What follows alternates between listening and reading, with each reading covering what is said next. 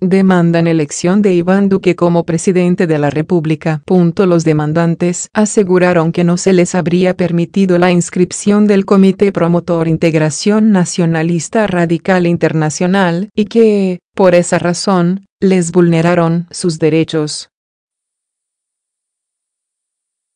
La elección de la electa vicepresidenta también fue demandada. Punto a la sección quinta del Consejo de Estado. Llegó una demanda contra el proceso de elección del presidente y vicepresidente de la República, del pasado 17 de mayo, en el que fueron elegidos Iván Duque y Marta Lucía Ramírez, respectivamente.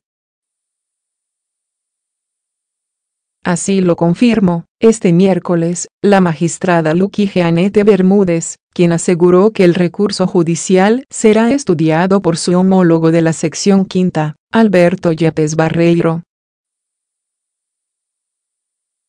La demanda, según la magistrada, fue instaurada por Amalia Núñez y Reinil González,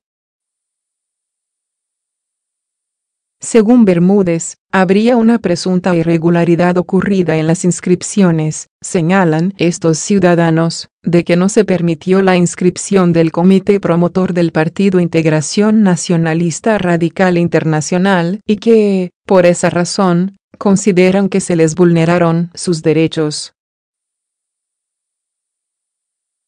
En cuanto al proceso que tendrá esta demanda, la magistrada aseguró que será estudiada por el magistrado ponente para determinar si está en condiciones de ser admitida o no, según los argumentos consignados en el recurso judicial.